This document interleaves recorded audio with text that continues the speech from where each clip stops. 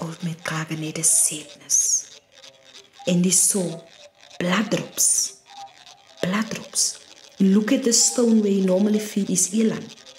The stone were covered with blood. And he started to follow the blood drops. And then he saw it.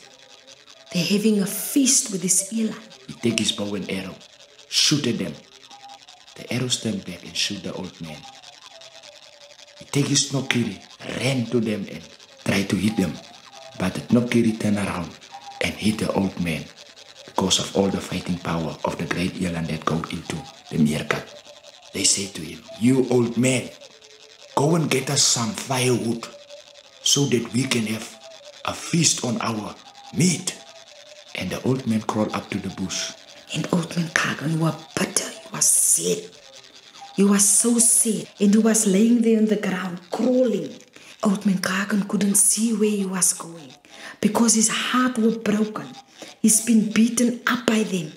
As he crawled up to the bush, he finds the gallbladder of the eland. And he opens the gallbladder of the eland. And from that gallbladder, all the darkness, the whole world turns black